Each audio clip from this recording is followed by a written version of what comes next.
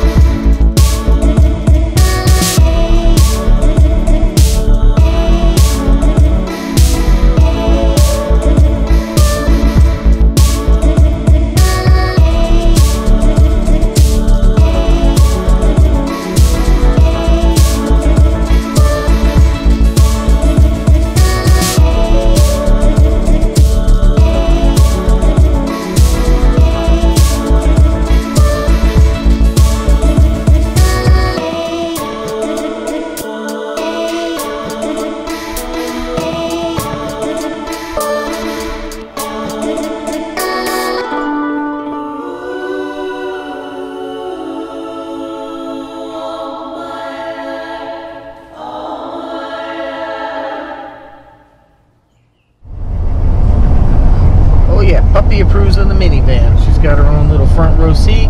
It's been a long day. We swung by uh, her daughter's place, picked up the dog, and now we are on our way home from the International Supermarket shopping spree.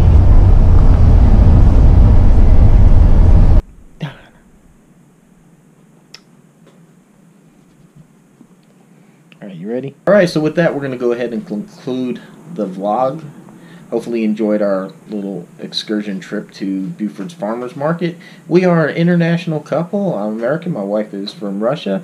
One of the reasons we took the trip there because there's some foods and things like that that from her homeland that she wanted to buy and are available there. As long as uh, anything else, if you're Japanese, Chinese, Taiwan, African, Uh, they even have American food, anything you want, all kinds of fruits, vegetables. It's mind-boggling how much stuff they have. So, anyways, hopefully you enjoyed the vlog. Please go ahead and subscribe to the channel. Watch more interesting stuff me and my lovely wife do together. Uh, I also do a lot of car vlogs and shows and stuff like that on the Great American Muscle Car. So, hopefully go ahead and hit the subscribe button. Absolutely free of charge, no cost or obligation involved in it.